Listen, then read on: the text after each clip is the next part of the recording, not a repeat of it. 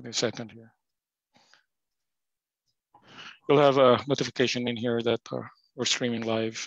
So if you could just, just if you don't mind uh, accepting it. Yep, got it. Okay, you guys are good? Yeah, I'm good on my end. Yep. Okay. Can, uh, let me stop sharing really quick here. Okay, thank you everyone for joining. Uh, Luke, thank you for hopping on as well. And Eron McCormick, uh, thank you for hopping on. This is our monthly uh, webinar or seminar series for home buyers. And uh, for now, for the time being, we don't have any participants, but wanted to step through um, this great article in CNBC, which I saw a couple of days back, and I documented them on a PowerPoint presentation. And on the very last page, also put in additional documentation or strategies from a buyer's agent perspective. So quick intros, my name is Bobby Taruc. Uh, for those watching, we will upload this as well on our YouTube channel. And Eron, you're free to download this um, to upload in your YouTube channel as well and uh, Luke the same thing with your team. So again, my name is Bobby Taruc with Keller Williams Premier Properties, uh, partnering with my wife, Joan Taruc, out of the Glen Ellyn, Glen Ellyn, Illinois office with Keller Williams Premier Properties. So Luke, if you don't mind, introduce yourself. Yeah, absolutely. Uh, yeah, my name is Luke Bennett, and I work for Caliber Home Loans, which is um, my office is based out of Downers Grove, um, but the headquarters, it's a nationwide lender, um, top five non-bank lenders in America.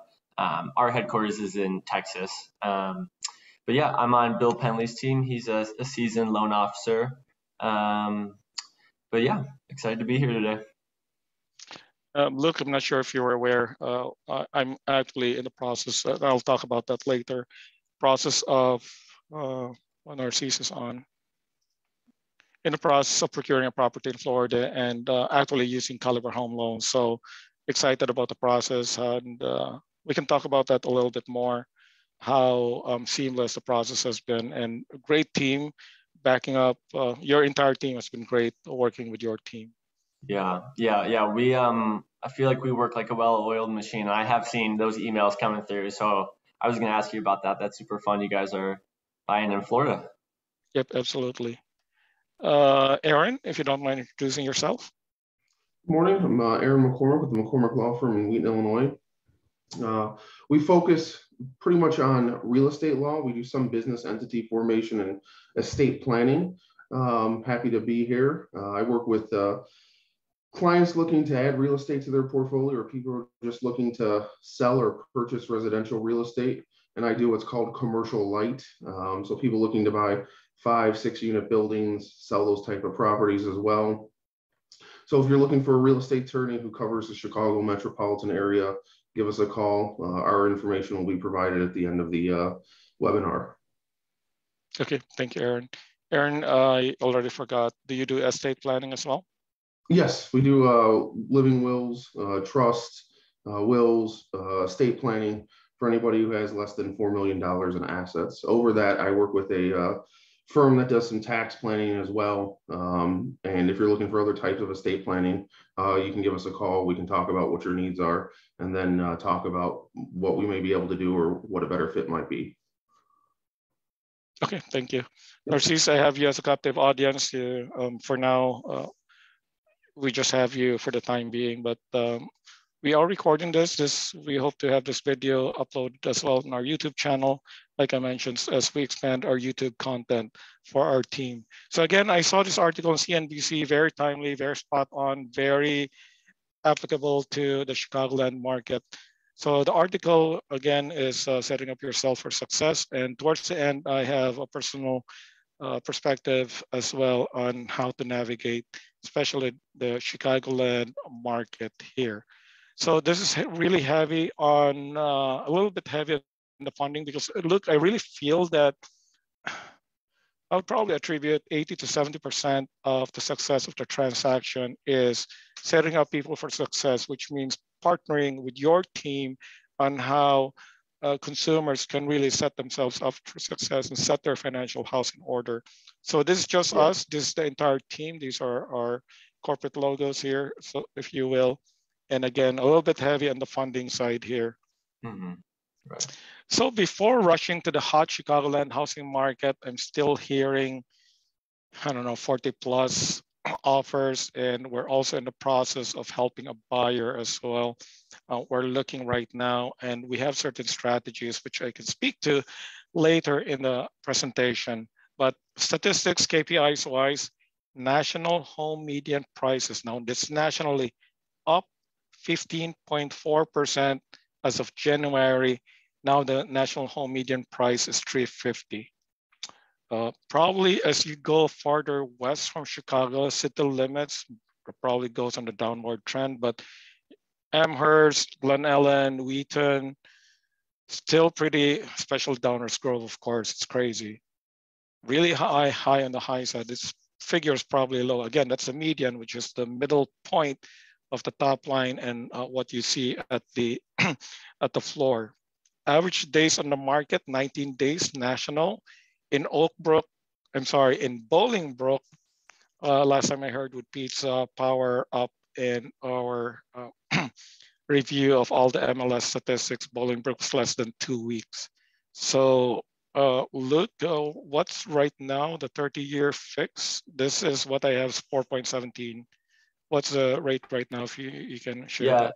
So rates have been super volatile um, and kind of to gain an understanding of um, some of the reasoning behind that is just rates are so reactionary to what's going on in the world. Um, so with so much turbulence um, and with so many announcements, both you know, um, even you know from the presidential inauguration to what's going on overseas, they, they've been very volatile, um, especially recently. So um, I think it, that's another important thing um, to understand when you're looking at purchasing a home is you might receive a rate today but you know even later in the afternoon that rate could change. Um, so i think that's an important thing to remember but um, as far as kind of where i'm seeing rates at within the past couple of days yesterday it's still right around there. I'd say four lower fours 4.1 4.2 is what we're looking at. Um, and again that is contingent upon um, various factors which we'll touch on later. Um, but yeah, that's I'm I am seeing that's that's still pretty accurate, right in that range for the 30 year fixed. Yep, absolutely. And I saw, I also saw, uh, I follow Michael Thornton as well. It's not with Compass. He creates content as well on YouTube, and he had a lender on his video, and they did a comparison, a one percent delta in the rate, and it was only less than two hundred dollars a month. So the only thing I could say here is that you can never really time the market. I would say don't make the interest rate a blocker to a decision to purchase because look, there's an always an opportunity to refi.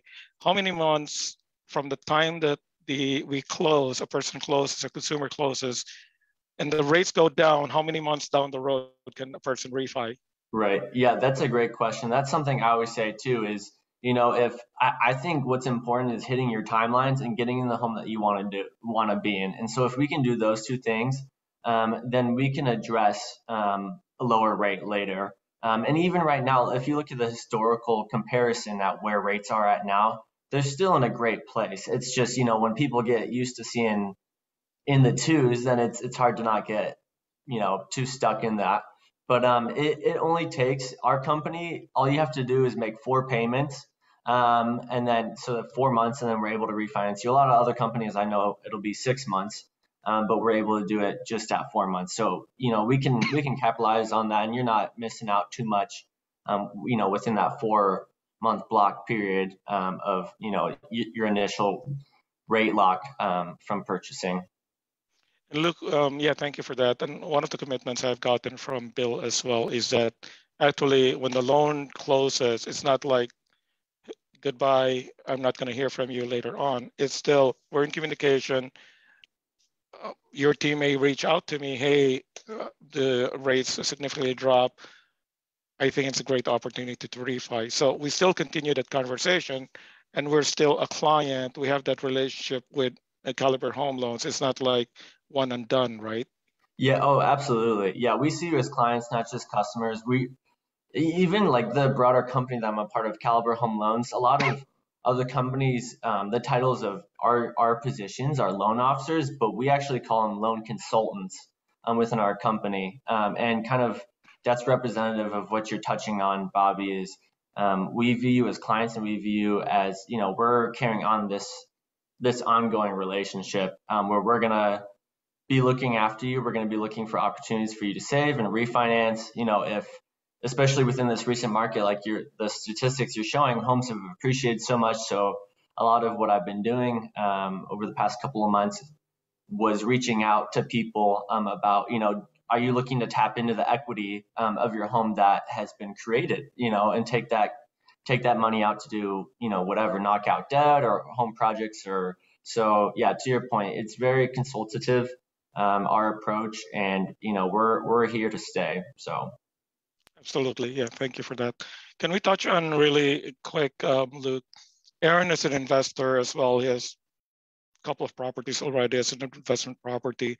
And what we're looking to do, um, in essence, our Florida purchase is considered a second home. So if you could briefly talk to us about the parameters around an investment property and a second home. So higher interest rate is what I'm hearing or experiencing also uh, shade under a point charge. Um, if you could please, uh, do you have any just top of your head parameters around investment property? Gotcha. Okay, you broke up a little bit on me, but I think I got the gist of um, parameters with um, investment properties. Right. So I think it's important with any purchase, um, getting any sort of mortgage that the deal, quote unquote deal that you are able to qualify for, you know, including your interest rate, um, and that's you know kind of the one of the main factors. Um, all of that is based around risk. Um, so anything that a lender like Caliber Home Loans sees as riskier, your deal that you're going to be able to qualify for is reflective of that nature. So same goes for investment properties because it is a second, you know, like a second property. It's not your primary property, um, in the lender's eyes, they see it as a little bit riskier. Um, and so for that reason, I think it's important to understand that your rate is going to be a little bit higher because, you know, lenders are going to compensate for that extra added risk. Um, but I mean, still, I think rates are still competitive. Um, it shouldn't be a deterrent from you uh, to looking at investing, you know, buying secondary homes, doing rentals, Airbnbs, all those sorts of um, facets are great ways to build wealth. Um, but that's kind of to gain an understanding of um, what to expect in terms of looking at a secondary property. Okay, yeah, absolutely. Our nurses, please do um, stop me if you have any questions. So this is pretty interactive. So one of the strategies for, from this writer in CNBC step number one, strategy number one is learning the language even prior to seeing homes. So having a conversation with your buyer's agent, including your lender as well, because these are, these have really financial implications. So number one is earnest money. Uh, what that simply means is, is that you're committing to uh, making a purchase offer on a property and Eron, in a legal term, this is already considered consideration in a transaction, right? I had to unmute myself.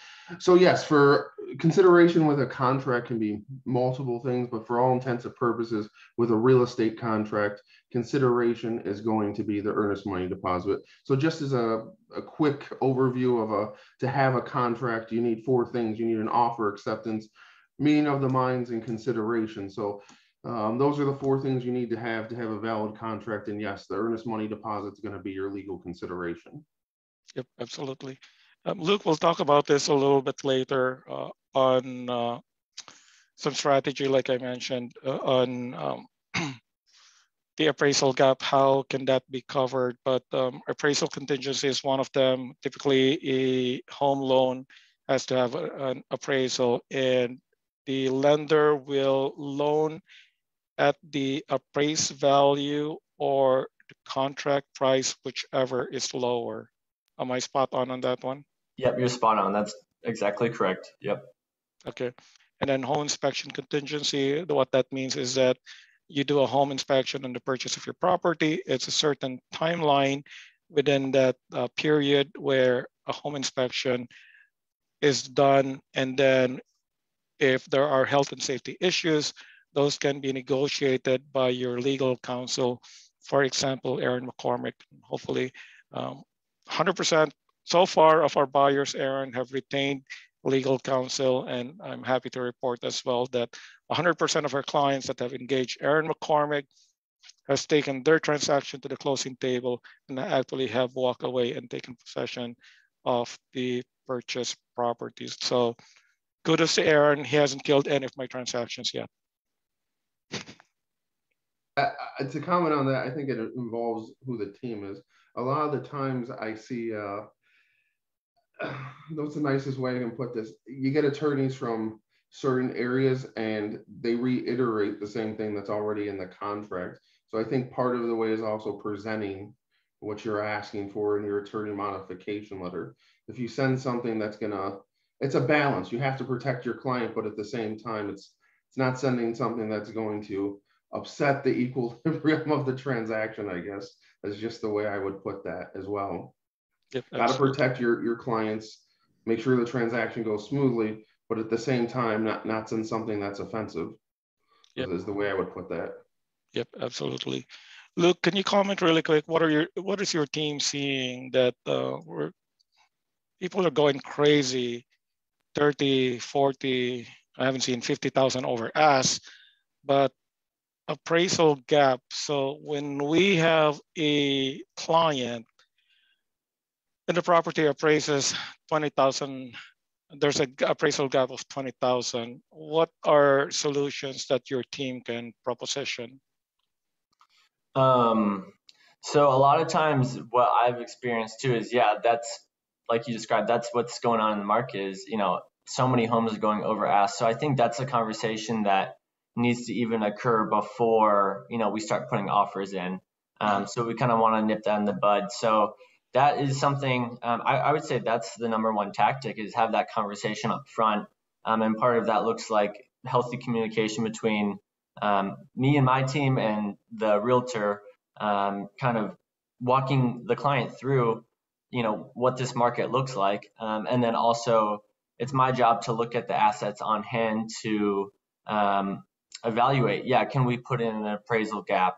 um, ahead of time, you know, um, when we do submit that offer. Um, and again, I mean, in this market, that's seen as in at, on some listings, that's seen as completely necessary. You know, they're not going to accept anything that doesn't have um, an appraisal gap. So um, again, interesting market that we're in. We have to make sure that communication is is key. We we know what our financial limitations are um, and capabilities are.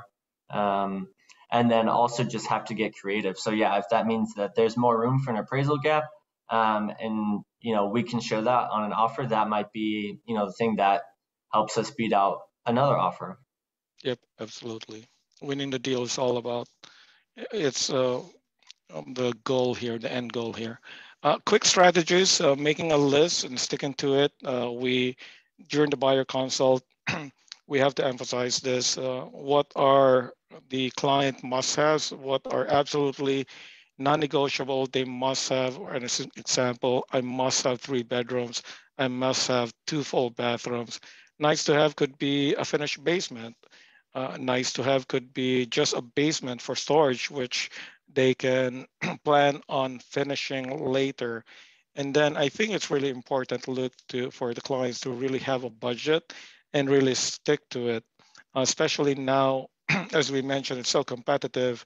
As an example, if I have a client that has a budget of 450, what I'm coaching Joan is that, hey, Joan, take a look at the properties listed at 420 or 415. Now we have a margin of 30 grand where we can bid at over ask and have an escalation clause. And we really need to look at the data as well to make sure recent transactions that having a certain higher level of confidence that the house will appraise. So really certain strategies here, but I think the key in here is to be within that budget. So we cannot really break the budget here. uh, Luke, this is more for at the onset as well for consumers and consumer clients tackling debt. You have um, lenders have a certain thresholds and DTI or debt to income ratio, um, trying to pay down debt as well prior to house hunting. Luke, what are you seeing in terms of, I think a lot of the younger generation have high uh, student loan balances. What are you seeing and how are you, is your team coaching uh, people on getting their financial house in order in essence? Right. Um, yeah, that's a great question. I think there's a lot of truth what you're saying, Bobby, is just that um, a younger generation is dealing with um, loads of, yeah, um, student loan debt. And so I think first thing I coach is don't just immediately assume that that doesn't mean that you can't purchase a home. Um, you know, you're going to be having to pay unless you know unless you're coming right out of college and looking to you know live at home for a couple years you're going to have to pay somebody to live somewhere. Um, and so that's often the form in rent. Um, so i think that um, and you look at the the way that rent rent uh, prices have been going up and up within the past year i mean i, I think it's really worth considering um, the ramifications of of buying versus renting um, in this time. So I would say that in terms of tackling debt, I wouldn't say um, just think that you can't purchase a home. I think it, it doesn't hurt to consult me. We can get you on application. Ultimately, I don't really know. I always say this. I don't really know where you stand financially. Mm-hmm. Um, it's kind of like going to the doctor. I don't. I have to know your symptoms before I can address the issue. So once we get you on paper, get you on application, pull your credit, then I'm able to see um, where your debt is at. And so also to kind of gain an understanding of for people who may not even know, you know, what's the debt to income ratio. So essentially it's kind of what it sounds like. It's it's your monthly debt. debt. We look at the monthly expenses. Um, and so, you know, that can be in the forms of credit. A lot of times it's credit cards, you know, vehicles, um, and it is student loan debt. That's kind of a primary three, unless it's you have another property or purchasing a second one. Um, and then we compare that to your monthly income. Um, and you know, if you have a co-borrower, we use their income and debt as well. Um, but yeah, that that that would be my coaching. Um, is just that it definitely helps to pay down your debt. Um, and um, again, I think uh, honestly, what I've seen is most of the struggle in terms of qualifying comes down to cash on hand rather than it does the debt to okay. income ratio. that's what I've seen to be the case for a lot of um, you know, younger individuals is that what's holding them back isn't necessarily their debt to income. They they can qualify for it. They can make that monthly payment. Um, and like you're saying, Bobby, I think staying within budget. That's that's kind of the place where I like to start. Is yeah, you can say, okay, I'd like to live in a three hundred fifty thousand dollar home, but once you see um, the monthly payment, you know, maybe you're going to think otherwise. So I think getting a sense of what you feel comfortable paying monthly um, is super important. Um, but yeah, I would I would say that that is the case for me. I think, and I think we're going to talk about this later, but um, saving for that down payment um, and closing costs that that is what you should be focusing on. I would say um, if if you're worried about having some student loan debt. Yep, absolutely. And one last thing to add on here really quick is that um, I listen a whole lot to Dave Ramsey and his uh, other personalities on the show. One of them is Dr. John Deloney. And they talk a lot about we have people have a lot of fear, but awareness and education and data can actually allay those fears. What that means is that unless someone sits down with your team, Luke and really look at the numbers, people have assumptions. Oh, I'm not so sure I have enough um, enough save, or I'm not so sure I have a great credit score. People have those fears and assumptions, fears based on those assumptions. But in fact, when they sit down with your team, Luke that take a look at the data, then those fears can actually be allayed. And they could be really fears based on incorrect assumptions and incorrect data. So I think it's really important people really yeah. sit down with your team at the onset. Yeah, absolutely. And to add to that point, I will add, I, I that's totally true. I preach the same thing. And worst case scenario is we meet, we get you on application, we see where your debt to income lands, we see where your credit is, and let's say you're not you're not ready to buy now, then we set you up with a plan um, with action steps to to make that happen. You know, and maybe that can happen six months down the road. So I really don't. I always say it's not going to hurt to talk to us. It's only going to benefit you. And worst case scenario, we say, hey, I don't think you're you're quite ready to purchase. Um, but what are we going to do? What are the action steps that we're going to take um, in order to, um, you know, make you a, a competent and ready buyer? Yep, absolutely. Luke on this particular page. this one I'm not uh, really privy to. Does a person's FICO score impact a particular rate they can qualify for? Are there different tiers than a FICO score? Is that how this works out? Yes, yeah. So that is something, um, honestly, especially entering into um, the industry for me, that's something that I never realized is how much your credit score really does influence um, kind of your financial situation, especially what you can qualify for. So your your credit um, and your FICO most certainly is factored into what you can qualify in terms of um, an interest rate. Um, and so there are, I don't think you should hear that and think, oh, dang, mine, I know mine isn't perfect.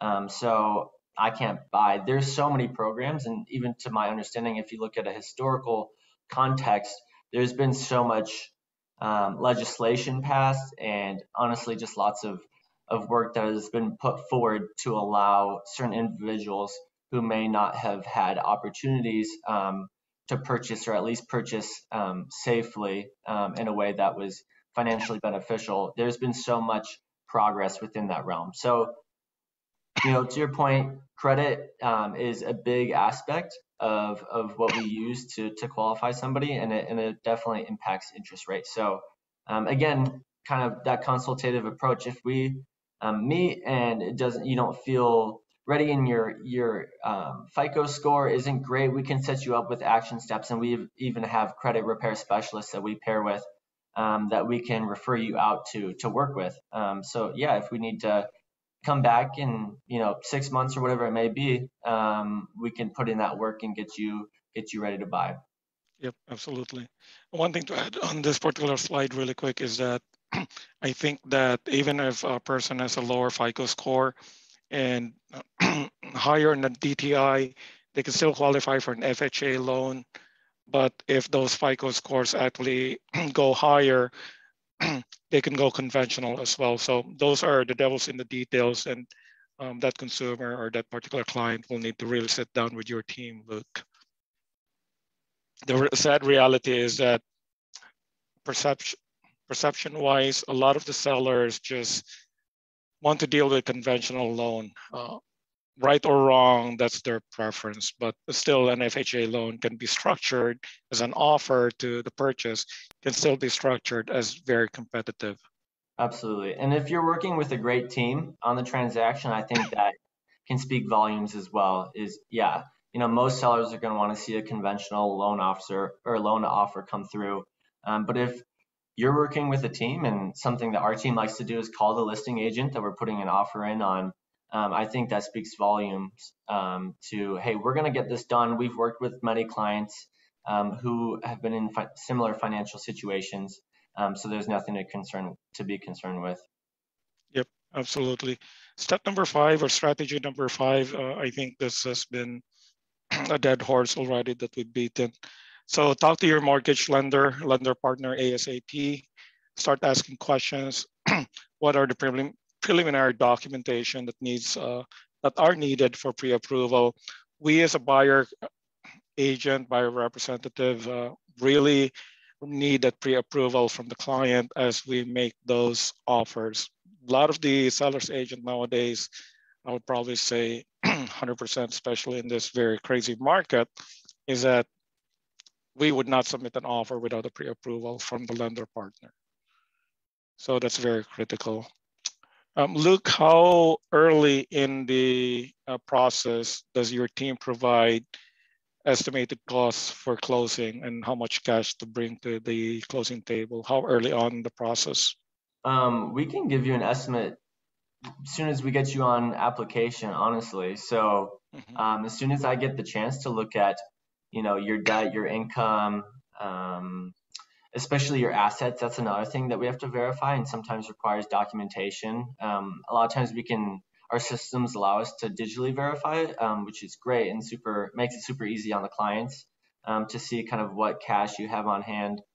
Um, but yes, I, I, mean we can we can provide an estimate very early on. Um, so I, I always say we always say kind of closing costs an understanding is usually right around five thousand um, dollars. So that's kind of I mean that can be give or take, but usually that's what I say. Um, it's it's usually always right around five thousand for closing uh, costs, and that's you know five hundred for that appraisal Bobby was talking about earlier. Um, 1300 in lender fees, um, again, approximately, and then the rest is for title. Um, so I always coach my my clients think five thousand dollars plus your down payment, and that's that's cash needed to close, and that's ultimately what people want to know. You know, you want to know, okay, how much cash do I have to bring to the closing table, and what's my monthly payment going to be? So we try and provide that information as quick as we can, um, because you know that's really the bread and butter of what what buyers want to know. Yep, absolutely. That wasn't a trick question, by the way, because I have, uh, as I mentioned, we're in the process of procuring a loan and procuring a property. And right. I was really surprised your team turned around a closing cost estimate, I think less than two weeks. I just wasn't sure because this property is Florida. I wasn't sure if um, if there was a, a, different delta or differentiation in turnaround time in Illinois. So thank you for that uh, information. Yeah, your team is really quick in uh, providing the uh, closing estimates. Eron, I was not aware that title insurance and title costs cost so much money. And I think a majority of that expense is with uh, the title company.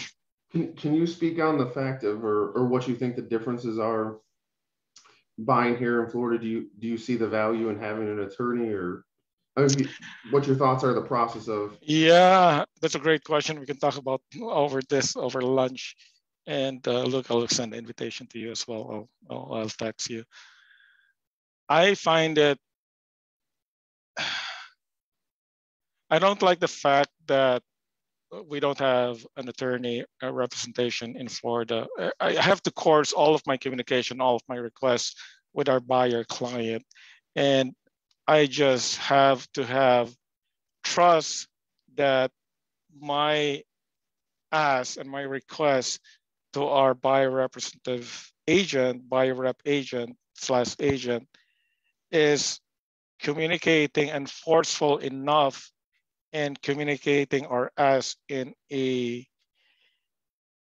way that has leverage, if uh, I may say so myself. I can't semantics wise communicate that in a better manner but i i feel that attorneys have a way of communicating which has a lot of weight in it and carries a lot of stick in it and also has a lot of carrot in it i'm not sure i'm not confident i don't have that level of confidence that that's the way it's done in terms of communication and transaction wise or negotiation wise, that's a level of communication that's happening. So not a whole lot of comfort level there if I could uh, share that.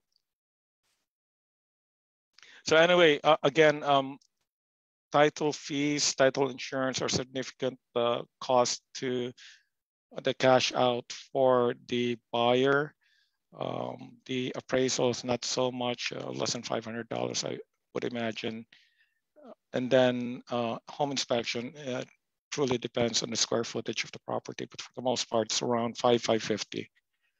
And then uh, in DuPage, we do have to, I would suggest for buyers to actually do a radon test as well, because DuPage is notorious for high levels of radon.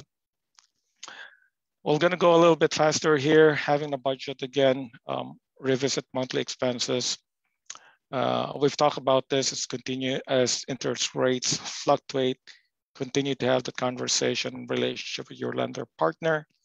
And then if someone is really bent on, as an example, just they want to live in Glen Ellyn, we would uh, communicate that, hey, consider Wheaton, consider Warrenville, consider Winfield. Um, you can get a lot more bang for your money. If um, you really have to be in North Naperville, um, maybe consider further west of Washington a little bit. So a little bit west of the city, of course, uh, the prices go down uh, to some level. I'm not sure, hopefully you can read these fonts, uh, making the offer strategies. These are the strategies uh, that we will be implementing as we go um, deeper into the season.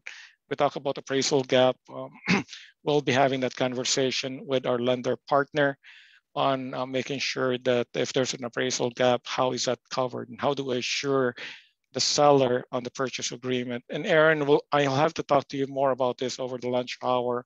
How do I word and structure the purchase offer where it communicates on assurances of the appraisal gap? As is doesn't mean uh, you can request for repairs for health and safety issues signing as is just means that we will not be asking for non-health and safety issues that are uh, that are illustrated in the inspection report. I would not suggest to skip the inspection, but you can still do an inspection, but um, Eron, this is something that I need to talk to you about as well. Um, how do we does waiving the inspection contingency actually make it attractive to the purchase offer? So I'll have to waive the pros and cons around this, but I will not suggest to skip the inspection itself. I still would suggest, irrespective that inspection contingency is waived on paper on the purchase offer, I would suggest for the buyer to still move forward with inspection. Eron, tax proration, I'm hearing lower the tax proration, make it attractive to the seller is a another strategy that we can employ. The only one on that is I would say, and Luke or uh, Bill might be able to comment more on that is if you have a buyer with an FHA deal, that that might be a might be a tight spot to put them in. Um, VA okay. maybe not as much. Um, I'm also seeing a lot of people forgetting to fill in the wood destroying insect inspection on, v, on VA deals. And, um, you know, luckily I'm catching that. My brother's a veteran, so I'm familiar with that process. He bought with a VA loan. But I have buyer's attorneys who say nothing, so I don't say anything to them in the attorney modification process. And I'm not trying to be sneaky. My job is to represent my client who happens to be the seller. After attorney modification is up, legally the buyer can't pay for that on a VA deal. Um, and so, unfortunately, their agent or the lender or somebody is going to have to pay for that because under federal regulations, the buyer can't pay for that, or the veteran can't pay for that. So um, just be cognizant of when you're making a VA offer that you're getting the seller to agree for that up front. And then I get people complaining about it on the other side. Well, the, unfortunately, that was missed. So yep, just think about that when you're presenting a VA offer. Okay. Yep. Absolutely. Uh, items number five and six, um, Luke, this is really something that um, the client has to work closely with the lender partner. Uh, can we have a higher down payment? Can we have a higher earnest money? And from the perception of the seller, you have a higher down payment, you have lower LTV, there's, there's a lot less risk to the lender, high probability for the loan contingency to move forward really these are great strategies, items number five and six. Yeah. Item number seven was conversed with uh, in our office with uh, Jill Daniels. Uh, reverse contingencies, as an example, uh, having a possession date much, much later after the closing date. And Eron, I need to talk to you about uh, how do I phrase this and put it on the purchase offer so um, this is something that I really need to cover with you in terms of reverse contingencies. As an example, in our Florida purchase, the seller, we closed on Lord willing on March 18th, and then the seller wanted possession date to be the 25th with no lease back cost. And we're like, okay, fine. So we talked to our buyer agent and she said, given this market, just take it as it is. So we recognize that, and we as a buyer, uh, the seller has much of the leverage, and that's totally fine. Escalation clause, um, Eron, the Mainstreet Organization of Realtors has this document already. I've used this in the past. It seems like not a whole lot of agents still are aware. At least last year, Hopefully this year they're more uh, aware of the escalation clause as an addendum to the purchase offer. Um, this is a strategy again that we'll be using more so this year. Innovative loan products, uh, please talk to your lender partner again with Luke's team, um, something like a bridge loan that can do away with the sale of a property contingency. Uh, there's a lot more details on this that allow us for it to be discussed, but um, Luke is really critical as buyers. They, we have to position them, if they have a property to sell, we have to position them as a cash buyer. And how do we do that? That's really a problem that we have to solve for nowadays. And it's really critical that we work together as a team when we have a situation uh, where we have a buyer that has a sale contingency. Yeah, Luke, absolutely. any more uh, thing to comment on that one?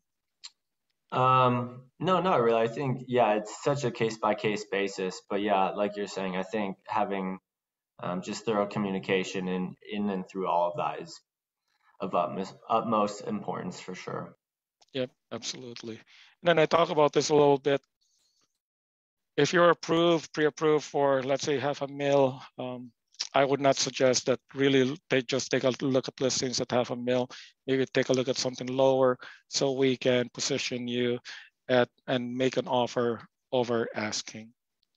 The last two things that um, Lauren, I forget her last name, she's a buyer's agent, Kimu's team in Downers Grove. We had her on our daily huddle. And there were two things that I took away from her sharing her high level of success as a buyer's agent. Number one is kindness, meaning we need to be kind to the people that we're transacting with or dealing with, negotiating and communicating. I myself and Joe need to be kind to the seller's agent. I have to be kind to Luke. I need to be kind to Bill. I need to be kind to Beverly. And, and all of these craziness and everybody's so stressed, we need to be kind to each other and uh, we'll be able to work together, move that transaction to the finish line. The second key parameter or uh, the value system that we need to embrace, Joan and I, is that we need to have a high level of communication with our lender partner, with our clients, and also with our attorneys. That level of communication, whatever their preferred type of communication is, be texting, email, phone calls, really a high level of, of communication needs to be achieved. So there is no gap in communication, nothing falls through the cracks, there's nothing lost in translation. And again, our goal is to move that transaction all the way to the finish line. And that's uh, really our ultimate goal. That's really all I have in terms of strategies. These are just additional um, information I wanted to add to the CNBC article. Luke, um, any final word from you? Um, I think my final word is, yeah, I think I just love kind of what you said at the end about kindness. I think that um, I, I never want to downplay the significance of a home purchase. You know, that's for so many people, that's the biggest purchase that they're ever going to have in their life.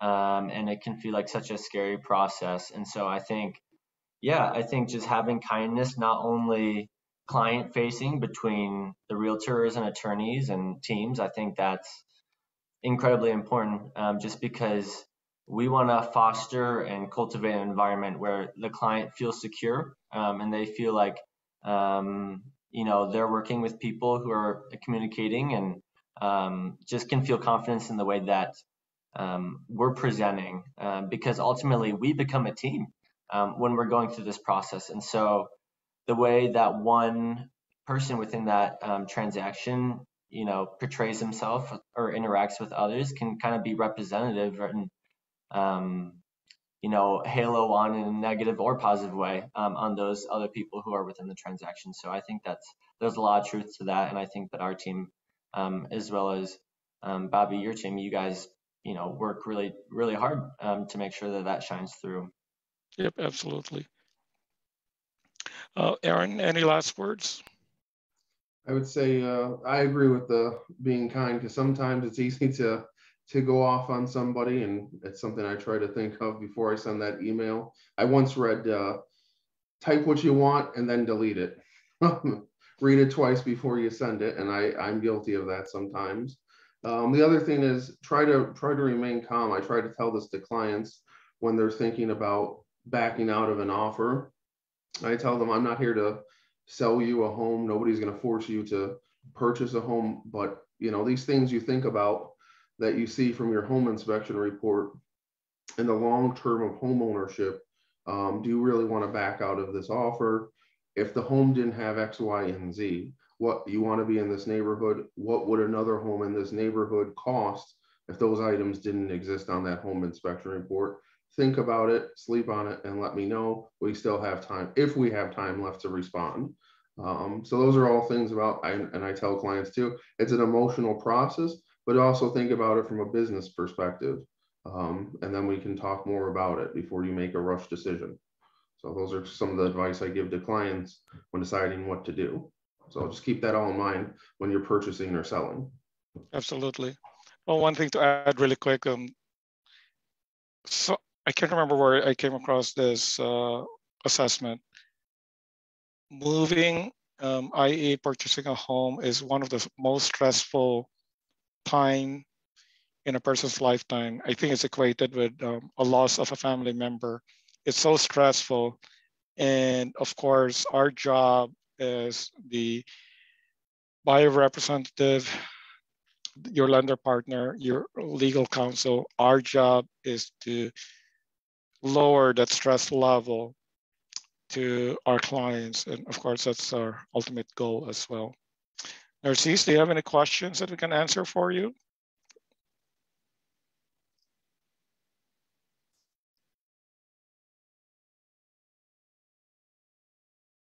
Going once.